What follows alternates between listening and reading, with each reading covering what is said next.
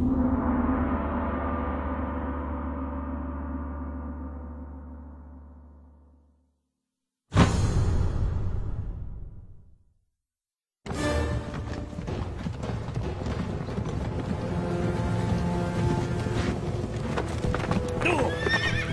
が君前方に兵が。やはり周囲に読まれたか。心配ご無用我が君呉に参る際軍師殿より3つの袋を授かりました。前もって策を講じてくださっていたのです。一つ目は露光鎮に着いた時使いました。兵士たちに派手に買い物をさせ流言が広まるように。二つ目は主君とあえて仲違いし私に慶州に戻るようにと。して三つ目は？三つ目はいざという時に開けよと。直ちに開けるのだ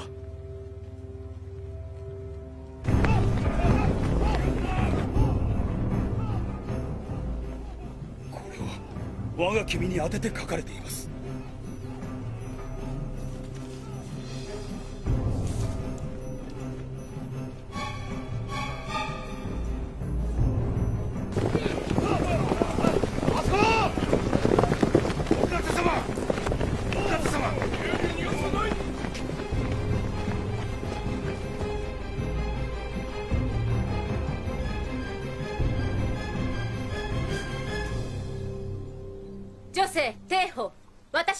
うのですか？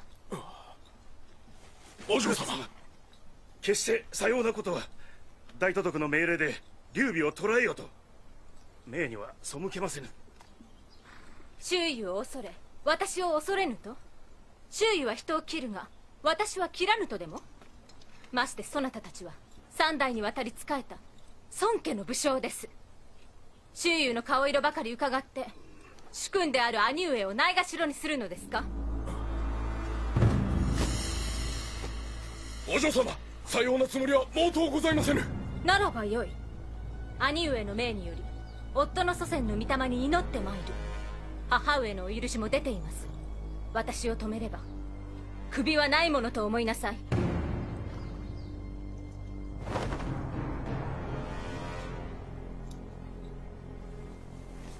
開けよう道を開けよう。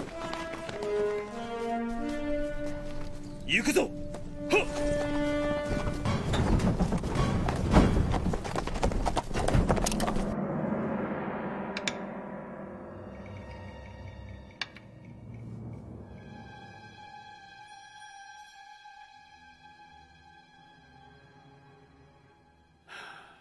思いますに先生のその一手では決着がついてしまいます。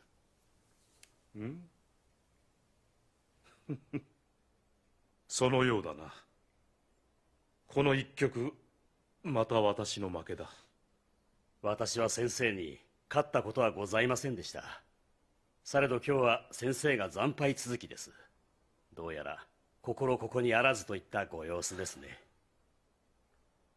趙雲が高等に向かい幾日経ったか数えた。何事もなければ主君から頼りが届く頃だ。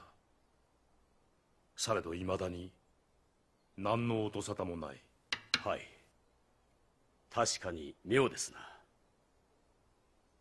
今日は役所も静まり返っておる。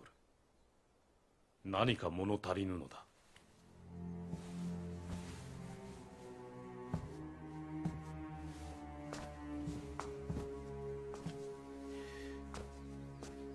一体何が？張飛は日々酒に酔っては私を罵倒しに参っていたがなぜか今日は姿を見せん。それがどうかしましたか？張飛は主君を思うあまり私に不満を抱いている。よもや。武力に訴えようと軍の中で戦に長けた兵は1万主君と関羽張飛が北方から伴った者たちだ。長年主君に付き従い関羽と張飛の命とあらば必ずや答える。その者たちを率いて私を捕らえれば兵符を奪い慶州軍を東へと進められる。さようなことになればどう応じるべきでしょうか。ああ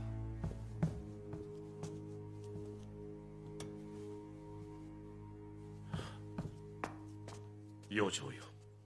私の兵符を持ち甲冑の部隊を動かせ。直ちに先生の護衛に当たらせます。待て。何か？甲冑にはぜひ夜中に部隊を率い出立するよう命じよ。先生それは何故？甲冑は慶州の出私も慶州に長く日頃から何かと親しくしておる関羽と張飛が武力に訴えると知れば甲冑は黙ってはいまい。軍はようやくここまで大きくなった。味方同士で殺め合ってはならぬ。築き上げたものが崩れてしまう。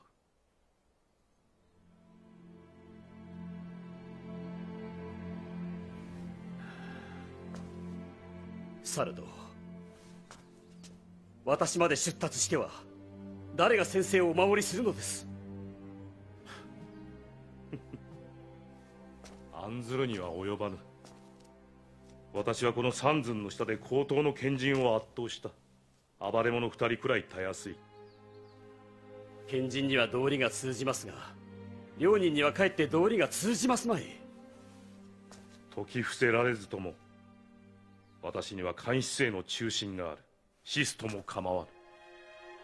先生何故死を覚悟なさるのです？先生がおられねば天下はいかが相なりましょう。死は己を知る者のために死す。我が君のためならば私は死をもいとわぬ。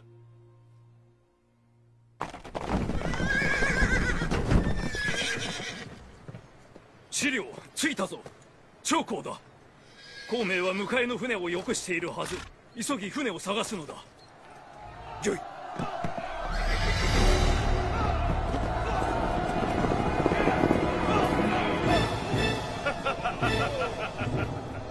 劉備。おとなしく馬を降りよ。そなたは呉の娘婿。傷つけるに忍びない。資料よ第四の袋はあるのか？決死の戦いに挑みます。やめておけ。分が悪すぎる。劉備観念するのだ！我が君。大都督に申し上げる。軍師殿のことづてです。傷が癒えておられぬゆえご無理は禁物両家は隕石。幾久しくご公儀賜りたく大都督に置かれては自重されたし。大都督大都督どうなさいました殺せ殺せ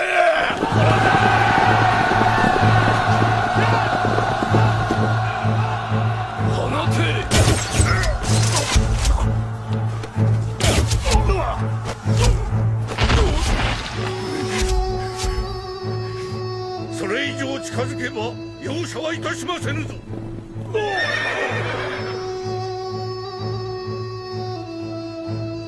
我が君万里下ったところに船がございます。お急ぎください。資料行くぞ。よい。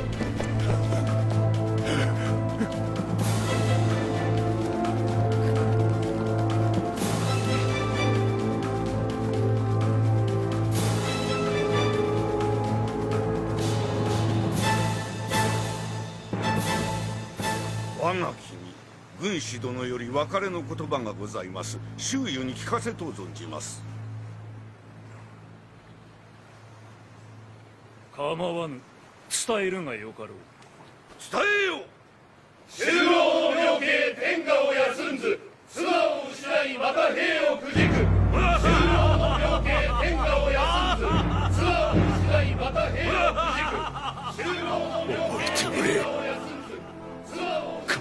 必ずや討ち取る。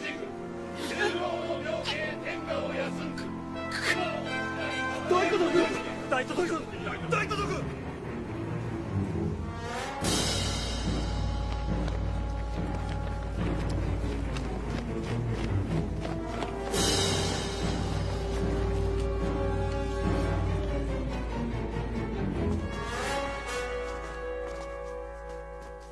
これはお揃いで。呉の討伐命令を下していただきたい。この兵馬はかつて主君やお二方が率いていた数百人の正体とは違うのです。数万の大軍なのですぞ。戦うべき時期も戦い方も勝手には決められませぬ。どんな大所帯だろうと兄者が生み出し育て上げた軍隊に変わりない。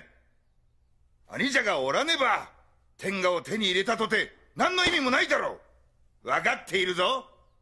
そなたは兄者が戻らぬことを望み慶州を乗っ取る気なんだ。お二方と同じく私もまた主君に対する思いは深い。私も主君のごとき英雄にお目にかかるのを長年待っておりました。お二方に勝るとも劣らぬ主君への忠誠心が私にもあるのです。されど戦とは感情に流されてはならぬもの。策を練り耐えることも必要です。諸葛先生は弁舌に長けておられるゆえうまい言い訳をあれこれ並べ立てられる。なれどそなたが慶州で兵馬を集めたのは我らを制するため。そうでなければ何故突然甲冑や義援の兵馬を召集したのだ。何を企んでおる。兄者が中原から連れてきた兵馬を一掃する気か？お待ちください。先生を誤解なさっています。先生はお二人が本日事を起こされると思われ私に兵符を持たせ甲冑殿の兵馬を急ぎ城の外へ出されました。その意図はすなわち味方の何万という者たちが撃ち合い敵に利を与えるのを防ぐことにあります。その話まことか？私の話を信じないとおっしゃるなら外をご覧ください公安の城内に慶州の兵は一人もおりません。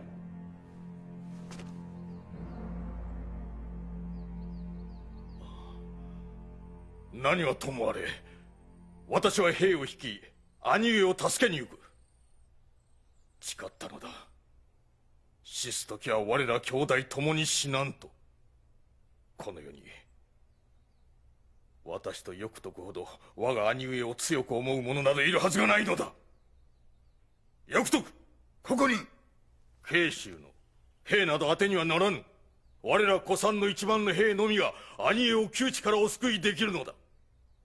行くぞ。ああ行こう。待て。報告将軍申し上げます。主君が主君が戻られました。え何？本当か？本当です。門の前に。兄貴行こう。ああ急ごう。先生主君がお戻りに。お出迎えに参りましょう。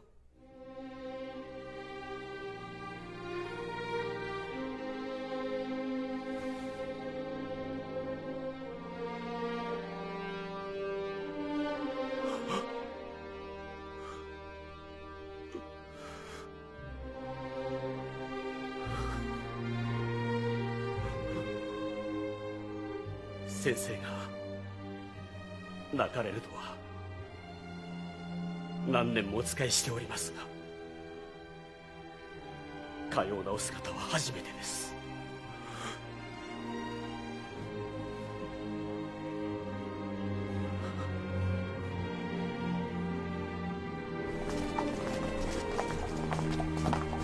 雲長よくとく。兄者！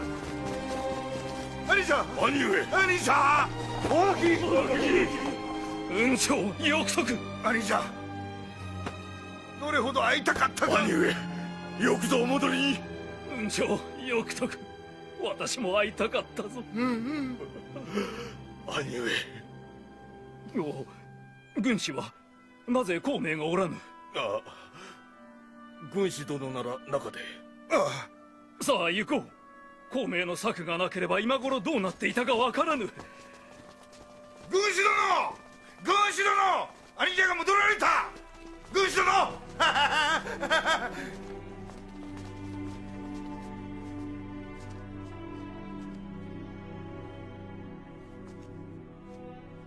これは何だ？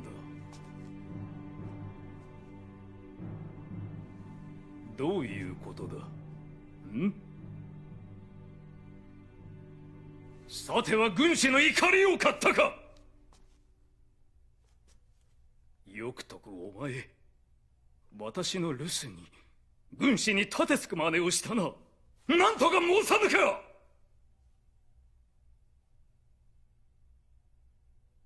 あで兄者軍師殿を探してきます。どけ！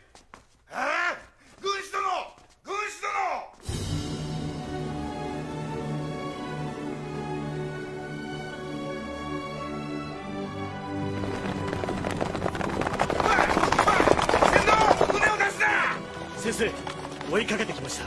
構うでない。船頭船を出すのだ。はい。船を出すな!待て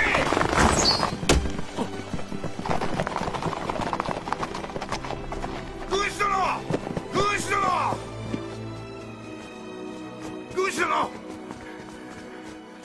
軍師殿!どうか行かないでくれこの張飛が軽率ゆえ怒らせてしまったこの通りそなたにお詫び申し上げる。先生関羽もお詫び申し上げまする。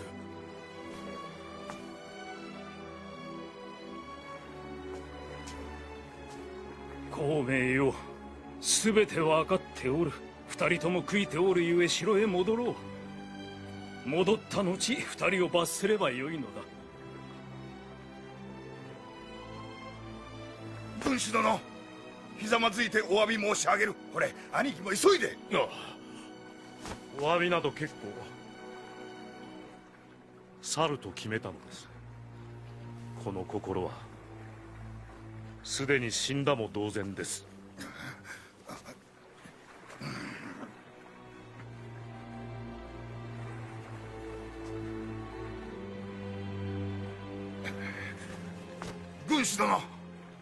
俺たちがひざまずいて詫びるなんて初めてだ。されど今日はそなたのためにひざまずいて頭を地面にすりつけよう。でも許してくれんのか？え？度量の狭いお方だ？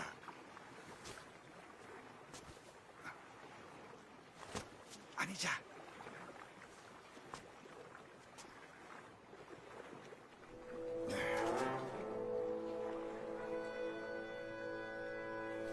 もうよい。許してもらえんなら我らとて遠慮はせん。兄貴軍師殿を担いで帰ろう。よし。行くぞ。どねえな。徳徳よくとく運長殺さぬか。そなたたちとはもはや無縁なのだ。これでは運長よくとく。無礼であるぞ。殺さぬか。こらよさぬか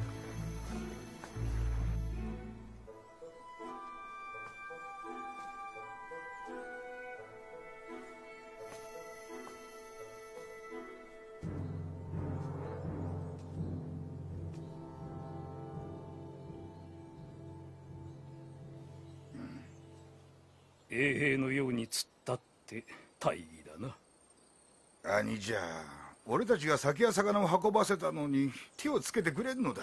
兄上一日経っても軍師殿はまだお許しくださりませぬ。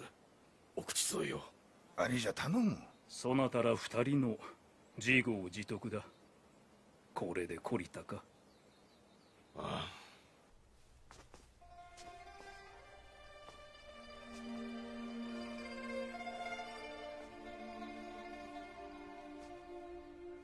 孔明よ。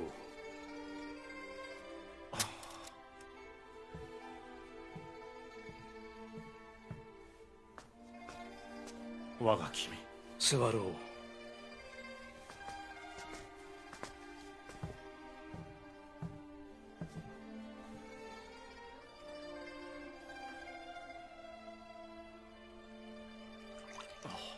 恐縮です孔明よ。あの二人は間違いを犯したと認めている。十分悔やんでおる。我が君あれしきのことを意に介してなどおりません。されば何に怒っておる。率直に申して関羽と張飛のあの気象は改める必要がございます。二人は何万の兵を滑る将軍として重責を担っております。戦という生きるか死ぬかの瀬戸際で感情に流されては負けはおろか軍全体に害を及ぼします。うん。いかにもとりわけ張飛だ。気性が荒く酒に目がなくしたたかによっては部下を罵り殴る。確かに改めねばならぬ。いいえ。我が君。私が憂いておりますのは関羽のことなのです。張飛のごとき粗暴さはございませぬが傲慢です。この広い天下において従う相手は主君のみ。他の者は滋賀にもかけず曹操も周囲も関羽にとっては雑草も同じ。我らが力を増せば関羽は今後一地方を任されることでしょうがあの気象では危険です。例えば周囲も優れた力を持ちながら私に負け続けるのはその気象ゆえ。関羽も張飛も優勝です。しかしながら度量を広く持ち何事にも耐え謙虚になり半身の股くぐりのごとき恥ずかしめにも耐えなければいずれ痛い目に遭うでしょう。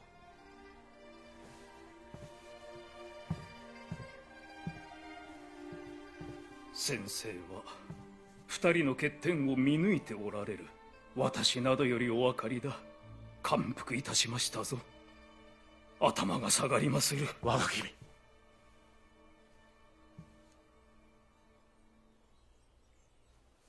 お二方茶でもいかがか？これはかたじけない。軍師殿この茶は苦い。やはり酒にしよいや茶を飲む。う そうか。そうだな。茶を飲もう。軍将軍師殿に茶を。御意大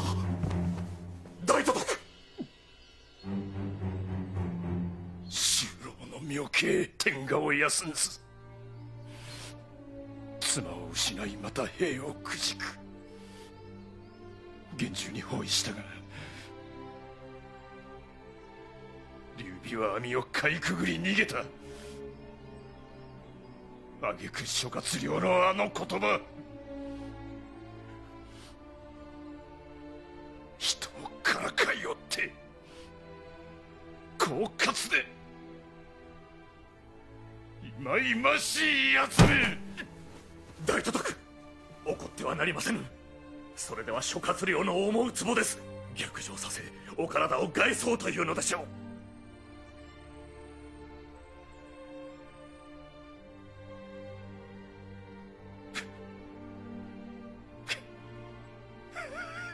使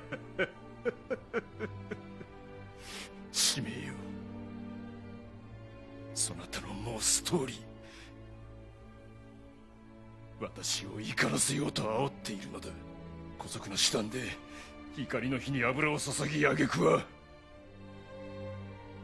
私の命を奪う気だ。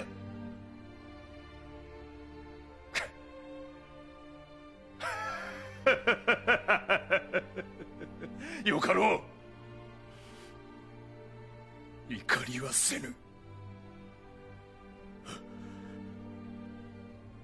我が軍は波領にて待機しております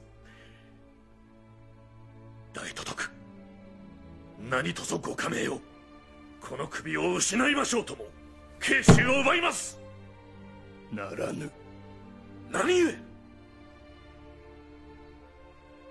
貧しいでの上格のないそなたは戦場で懸命に戦うばかりで計り事をなすことを知らず五家の雨と現れた。されどその後奮い立ち強くあろうと努め私に兵法を学んだだいぶ成長したがまだ考えが足りぬようだな。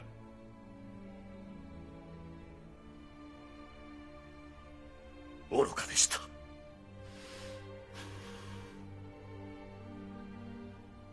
将たる者敵の内情を知り弱点をつかねばならぬ。劉備が高等に留め置かれていた時慶州は手薄であった。結束が弱まっていた。あの時に撃たず。劉備が戻った今この時に撃とうとするのは愚の骨頂であろう。大都督主君がお見えです。まずい。早く片付けろ。我が君後期拝謁いたします古今よ。病が重いと聞き死刑を連れ見舞いに来たのだ。お気遣い感謝します。ご覧ください。この通り達者にしております。ご心配なく。ええ。大都督は度量が広い。些細なことを気に病んだりなさいません。ご心配遊ばしますな。我が君死刑殿どうぞ中へ。しからば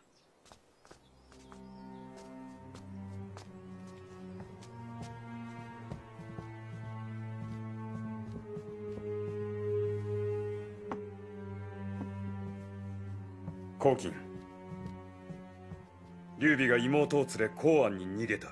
偵察兵によれば腹心の部下も皆公安に集い兵士たちを調練していると。ここ数日我が兵は奮い立ち軍の士気も高まり将軍たちは戦をせよと申す。慶州城はもぬけのから今こそ攻め入る時だと。どう思う？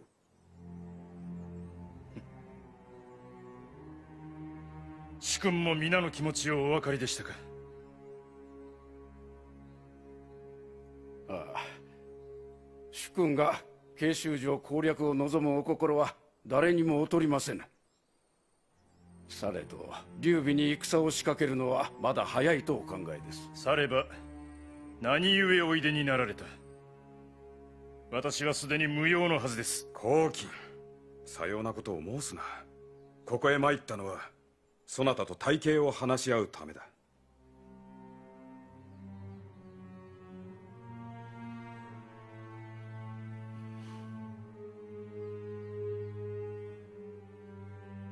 我が君この数日考えに考えを重ねておりました。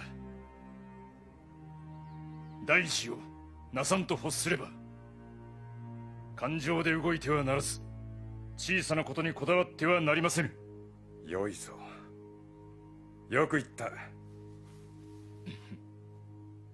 思いますに劉備が慶州から手を引くはずはないかと。されば劉備を慶州牧に任じるよう京都に上奏なさるのです。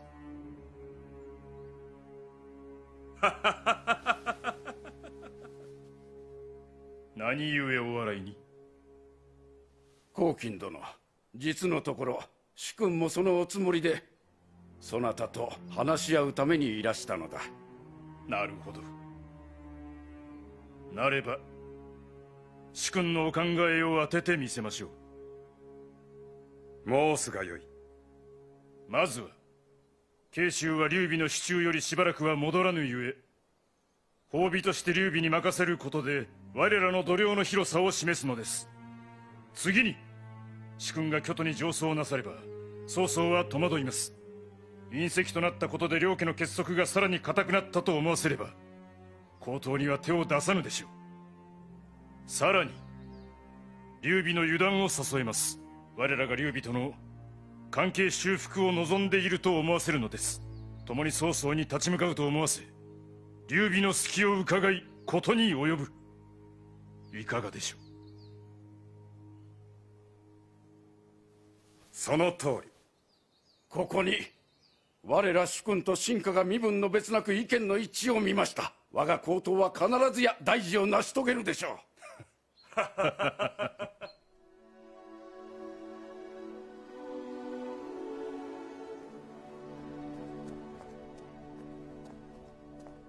我が君京都からの書状です。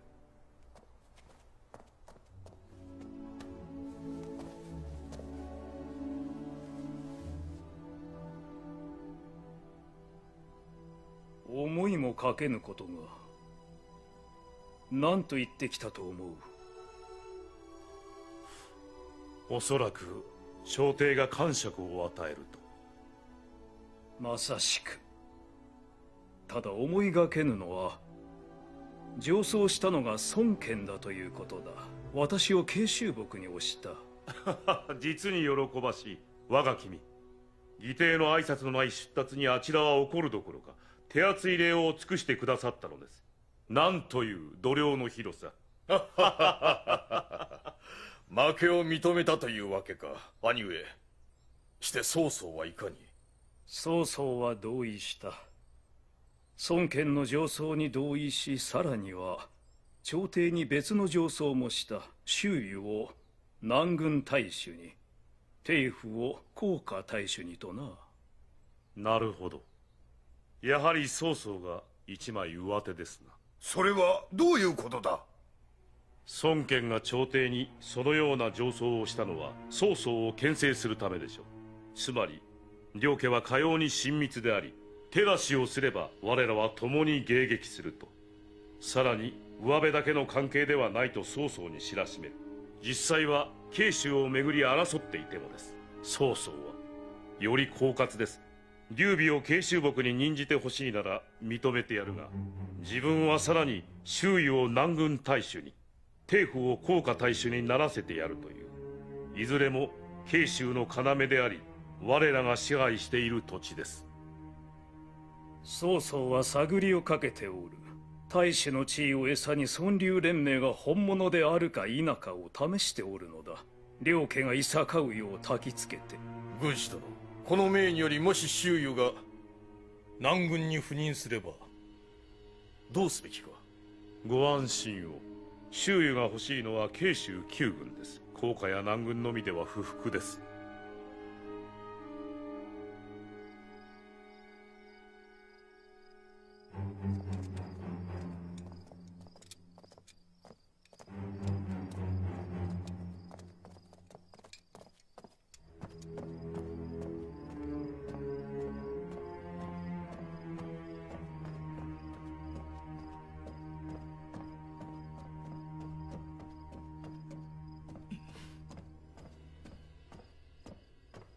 死刑殿何かあったか？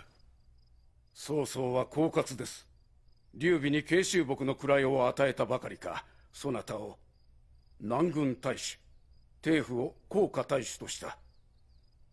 曹操は名ばかりの地位を使い我らを劉備と争うよう仕向け戦を始めさせようという魂胆なのです。主君はご存知か？すでにご存知かと明日きっと大将をお尋ねになる。故にその前にそなたと策を練ろうと参りました、うん、慶州に何か動きは？兵馬を調練し水軍もまた陸港に移ったとのことです。我らを警戒しているのだ。座られよ。そなたと。腹を割って話がしたい。黄金殿もっと早くそうするべきであったさあさあ。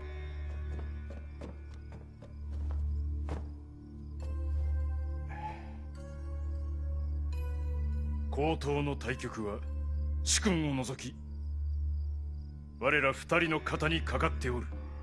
そうではないか。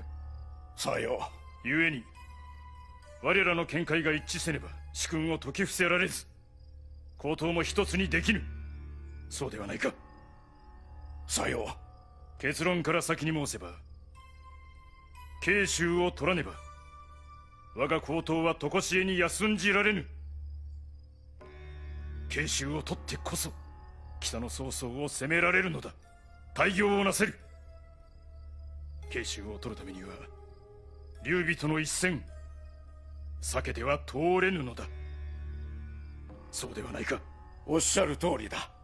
我らの違いはただ慶州をいつ攻略するのが有利かということだけ。よし。されば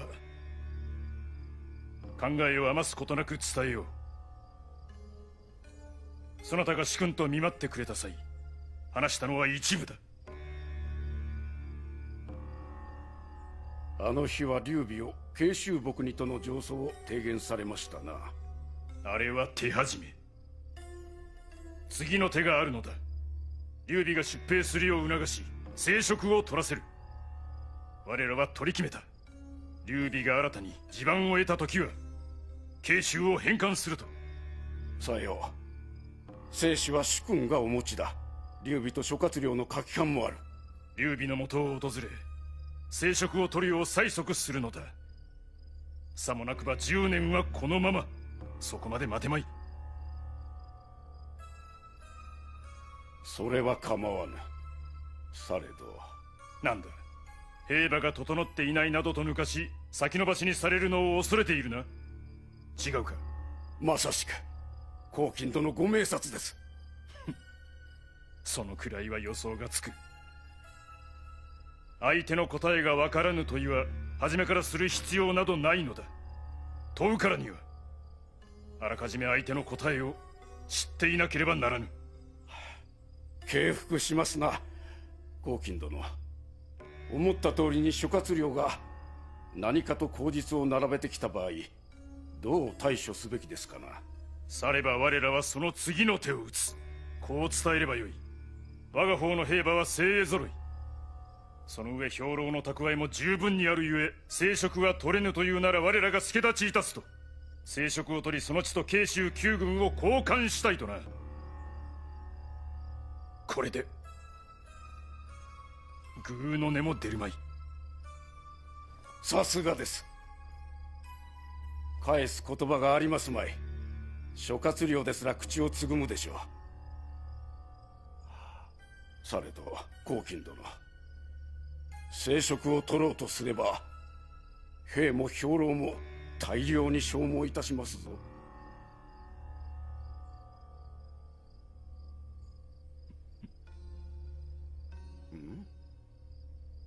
さてはその次の手が。無論。お示しくだされ。道を借りて核を撃つの刑。生職へは慶州を通る。進軍すると見せかけて向きを変え奇襲をかける。劉備は不意をつかれどうにもならず。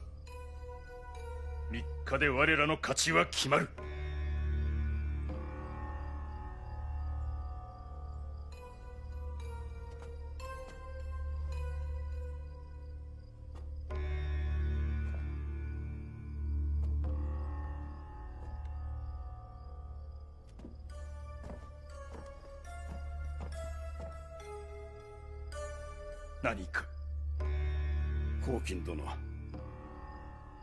の策は極めて危険だ。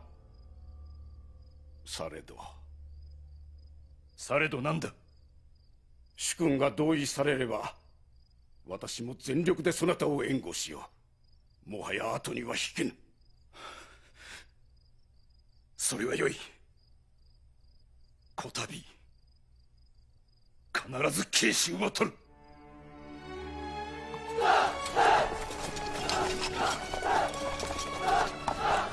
誠に大したものだ。わずか半年のうちにかように多くの兵馬を集められるとは。数は多くともいずれも新兵です。まだ使えません。調練すればよい。幸い大きな戦は起こっておらぬ。まさに今調練中です。ご覧ください。よくとくも酒を断ち新兵の調練に忙しくしております。さあ行ってみよう。え？戦に向かうにあたり初めに何を学ぶべきだ？申し上げます戦となれば刀剣は手放せません刀剣の扱いです。それから？弓の扱いです。正確に抜けば近寄らずとも敵を倒せます。違う！皆間違っておる。兵士が初めに学ぶべきことは大声を出すことだ。刀や弓ではたかが知れている。だが部隊の皆で叫べば十里先の敵も肝を冷やしておのずと退却する知っておるか？俺はかつて長藩派で一括し曹操の数十万の大軍をおののかせ退却させた。さあ俺について叫べ！殺せ！殺せ！殺せ！殺せ！殺せ！殺せ！何をやっとるんじゃ？え？葬式か？もっと大声で殺せ！殺せ！殺せ！殺せ！殺せ！よくとくの長練は誠に珍しいよくとくはどこの誰とも異なる。報告申し上げます。我が君ロシク殿がお越しに。孔明そなたの言う通り周囲が手を打ってきた。急ぎ迎えましょう。我らは隕石ですから。行こう。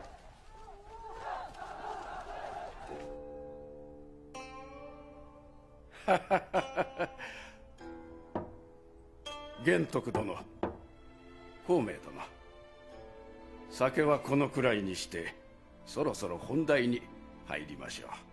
死刑殿わざわざのお越し御用の向きがございましょう。さあどうぞ。しかと伺いますぞ。いえ。